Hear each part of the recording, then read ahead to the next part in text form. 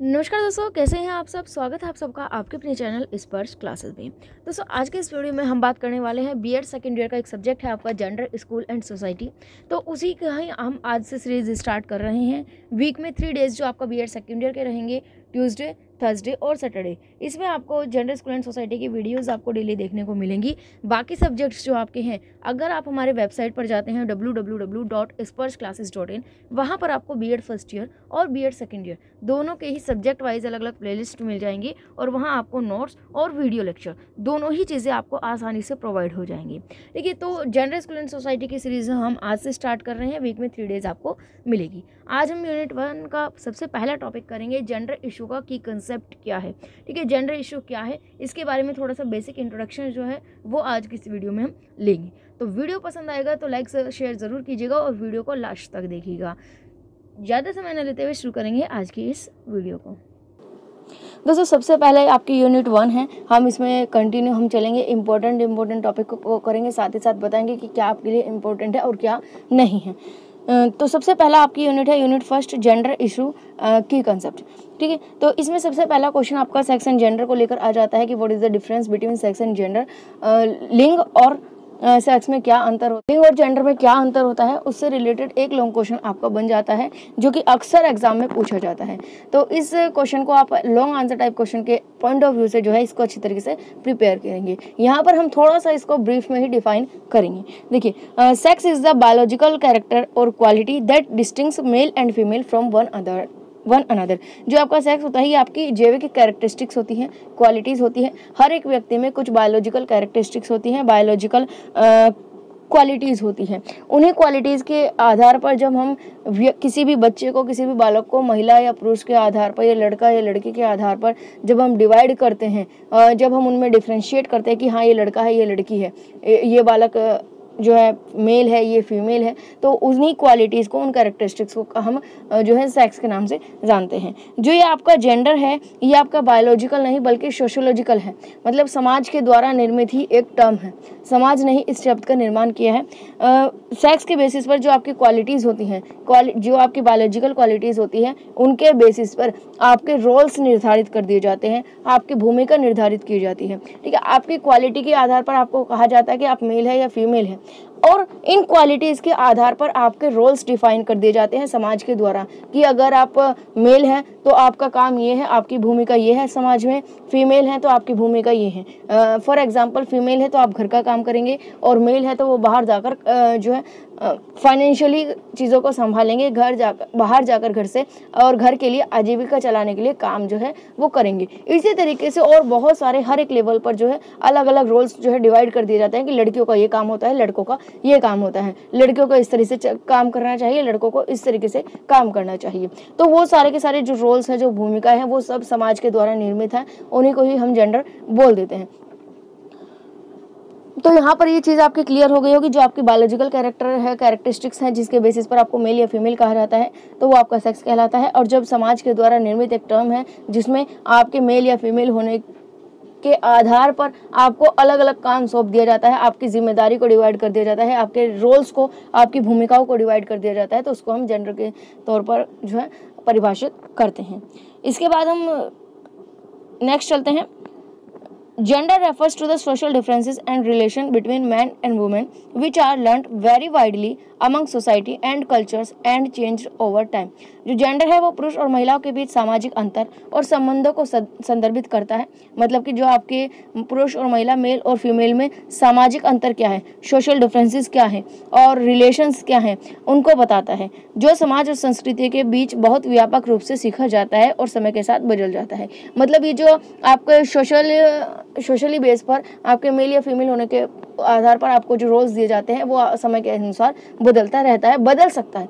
जो आपकी biological characteristics है, उनको आप चेंज नहीं कर सकते, लेकिन जो आपके सोशल कैरेक्टरिस्टिक्स हैं या सोशल रोल्स एंड रिस्पॉन्सिबिलिटीज़ हैं, उनको आप चेंज कर सकते हैं अकॉर्डिंग टू टाइम या एज पर टाइम एंड सिचुएशंस दूसरे शब्दों में हम कह सकते हैं कि जेंडर पुरुष और महिलाओं की भूमिकाओं और जिम्मेदारियों को बताता है, जो हमारे परिवार और समाज और हमारी संस्कृतियों में बनाए गए हैं। ठीक है, हमारी जिम्मेदारियों को बताता है। जो जिम्मेदारियाँ किसने बनाई? हमारे परिवार ने, हमारे समाज ने और हमारी संस्कृति में ही ये बनाई गई है। जेंडर की अवधारणा में पुरुष और महिला दोनों की विशेषता, दृष्टिकोण, संभावित व्यवहार के बारे में आयोजित संबंध शामिल होते हैं। तो ये आप समझ ही गए हैं कि जेंडर आप किसे कहते हैं? आपके जो सोशली आपकी रिस्पॉन्सिबिलिटी जो बताई जाती है, उन्हीं को हम जेंडर कहते हैं। उनके बेसिस पर जब मेल और फीमेल्स को जब डिफ्रेंशिएट किया जाता है। नेक्स्ट आपका हेडिंग आती है लिंग पर क्रॉस कल्चरल दृष्टिकोण cross cultural perspective on gender यहाँ पर आपका जेंडर आएगा, इसको कट कर लीजिएगा, आप जेंडर कर लीजिएगा सही करके। ठीक है जैसे जैसे अर्थशास्त्र जो है अधिक वैश्विक हो जाता है ग्लोबलाइज हो जाता है, उसी के आधार पर जो जेंडर भूमिका का मुद्दा है, जो ये जेंडर रोल का जो इशू है ना, कि किस जेंडर को कौन सा रोल देना चाहिए? फीमेल को ये रोल और मेल को ये रोल देना चाहिए? क्यों देना चाहिए? मेल्स फीमेल्स को भी इक्वली राइट है कि वो बाहर जाकर जो है जॉब कर सकें। तो हर एक काम का बराबर हक है दोनों को। तो ये जो इशू है ना कुल मिलाकर जेंडर रोल का जैसे जैसे आपका जो इकोनॉमी है वो वैश्विक होता जा रहा है ग्लोबल होता जा रहा है उसी तरीके से जो मुद्दा है ये जो इशू है जेंडर रोल का ये आ, समझने के लिए राजनीतिक और आर्थिक मूल्यांकन विकास को समझने में केंद्र रहता है।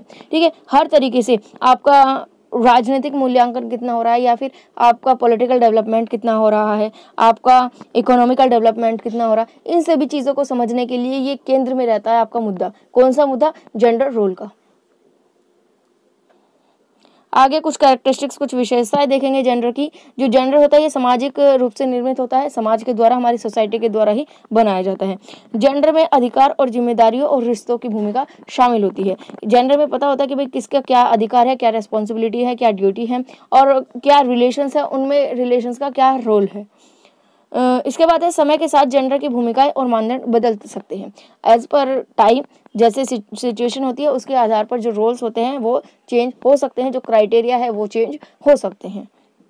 जैसे आपने देखा होगा कि पुराने समय में कहीं ज़्यादा जो है, कुरीतियाँ थी, बाल विवाह जैसी और दहेज प्रथा जैसी, जो कि समय के अनुसार धीरे धीरे बदल रही है। पूरी तरीके से ख़त्म नहीं हुई, लेकिन हाँ काफ़ी हद तक जो है, वो ख़त्म हो चुकी है और धीरे धीरे जो है, बदलाव आ रहा है। संसाधनों की पहुँच किसी भी जेंडर से तय हो सकती है तय होती है। मतलब किस व्यक्ति को मेल है तो उसको कौन से सोर्स रिसोर्सेज मिलने चाहिए? फीमेल है, कौन से रिसोर्सेज मिलने चाहिए? कितने रिसोर्स मिलने चाहिए? तो ये भी आपके जेंडर के बेस पर ही जो है तय होता है। संस्कृतियों के में जेंडर की भूमिकाएँ भिन्न हो सकती है। किसी भी कल्चर्स में अलग अलग संस्कृति होती है अलग अलग कल्चर होती है एरिया के अकॉर्डिंग तो एरिया वाइज जो है, जो कल्चर है, उसके अकॉर्डिंग जेंडर रोल्स जो है, वो अलग अलग हो सकता है। हो सकता है हमारे यहाँ पर जेंडर रोल अलग हो, और दूसरे किसी एरिया में, दूसरे किसी स्टेट में जो है जेंडर रोल अलग हो जेंडर की रेस्पॉन्सिबिलिटी जो है अलग अलग डिवाइड हो सकती है। तो क्योंकि ये समाज के द्वारा है तो जो आसपास की सोसाइटी है, उसके द्वारा ये चेंज हो सकते हैं, समय के हिसाब से भी और जगह के हिसाब से भी ये अलग अलग हो सकते हैं। जेंडर में व्यक्तित्व, लक्षण, व्यवहार और मूल्य शामिल होता है। जो जेंडर है, ये इंक्लूड करता है आपके personality traits attitude behaviour and values तो दोस्तों, ये था आपका जेंडर इशू का एक बेसिक इंट्रोडक्शन जेंडर क्या होता है एक्चुअली में? तो वो यहाँ पर बताया गया है कि एक्चुअली में जो जेंडर होता है, वो सोशली कंस्ट्रक्टेड होता है, समाज के द्वारा बनाया गया होता है। अब चूँकि समाज के द्वारा बनाया गया है, इसीलिए ये समय के अनुसार और जगह के अनुसार ये कल्चर के अनुसार, संस्कृति के अनुसार चेंज होता रहता है। अब अगर कोई ये कहता है कि भाई समय के अनुसार चेंज कैसे हो सकता है तो आप लाइव एग्जांपल्स देख सकते हैं पुराने समय में और आज के समय में। ठीक है?